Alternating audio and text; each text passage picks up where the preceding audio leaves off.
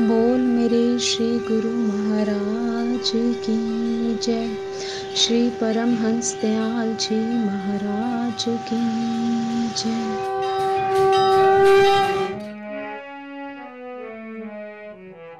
पुराने जमाने में यातायात के साधन सुगम न होने के कारण मनुष्य जब तीर्थ यात्रा को निकलते थे तो ऐसा ही प्रबंध करके निकलते थे।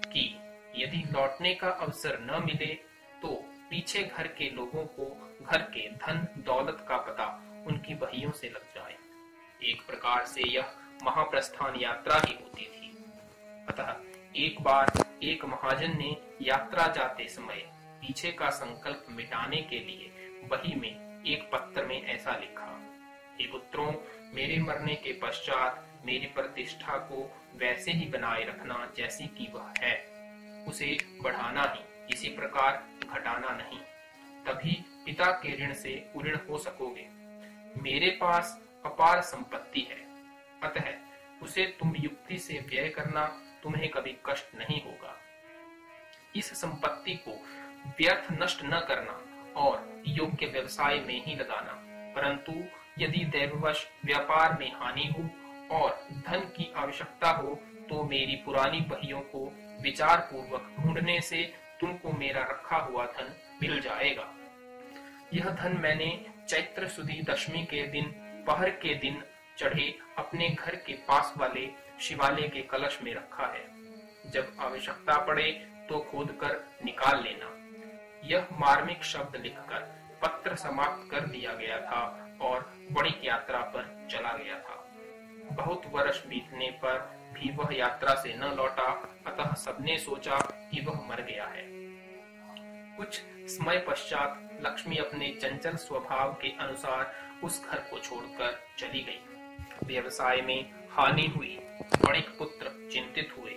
बनिया वृत्ति ऐसी होती है कि जब घाटा पड़ जाता है तो पुरानी बहियों को टटोलते हैं। अतः उन सबों ने भी बहिए टटोलनी चालू की तो उन्हें पिता का लेख मिल गया। पत्र के अनुसार कार्य करने के लिए बड़े भाई ने तीनों छोटे भाइयों से कहा, मंदिर का कलश उतरवा दो। इसी में पिताजी ने धन रखा है। छोटे भाई कहने लगे, मंदिर में कलश चढ़ाया जाता है, उतारा नहीं जाता।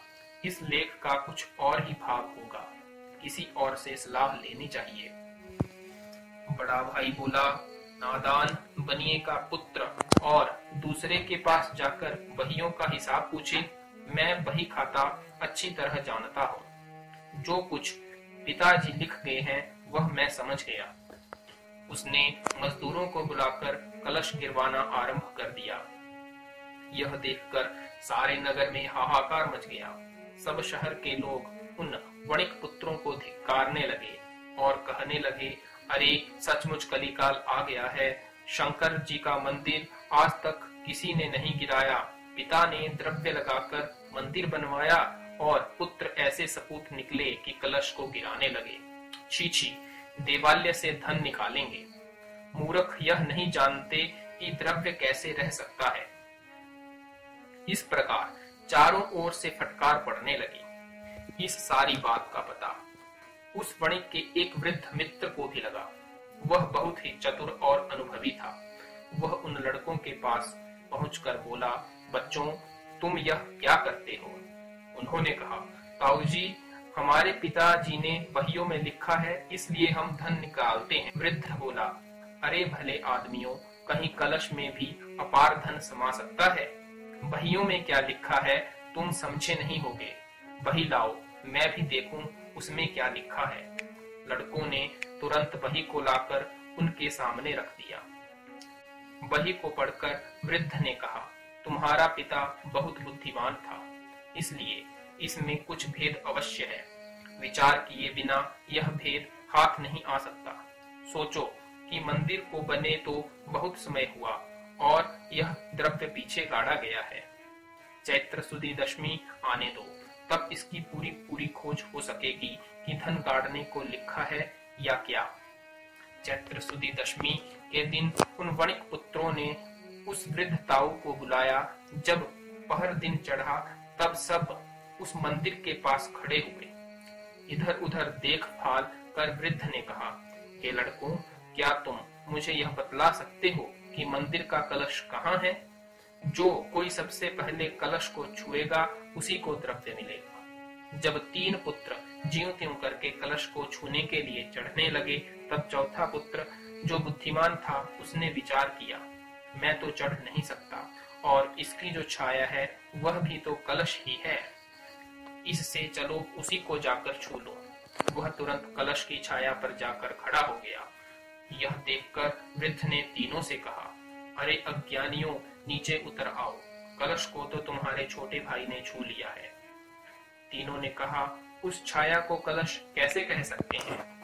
वृद्ध बोला, बताओ। यह छाया किसकी है?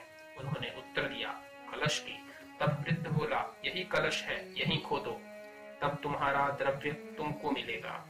तुम्हारे पिता ने कलश गिराने को नहीं लिखा, खोदने को लिखा है, सो क्यों भूलते हो? वृद्ध के कहने पर सबने कलश की छाया की जगह पृथ्वी को खोद कर बहुत धन प्राप्त किया। तत्पश्चात चारों प्रसन्न होकर वृद्ध ताऊ जी की प्रशंसा करने लगे। आप हमारे पिता के मित्र हैं तो हमारे पिता तुल्य ही हैं। आपके कारण ही हमें यह द्रव्य मिला है। हम आपका बड़ा उपकार मानते हैं। यह सुनकर वृद्ध ने उत्तर दिया, भाई, द्रव्य तो तुम्हारा ही था। तुमको मिला। इसमें मेरा क्या उपकार? मैंने कुछ अपने गांठ से तो निकाल कर दिया ही नहीं है। तुम अज्ञान के कारण इस भेद को नहीं जानते थे। सो मैंने तुमको बता दिया। खाओ, पियो, सुमार्ग में लगाओ। ऐसा कहकर वृद्ध अपने घर चला गया।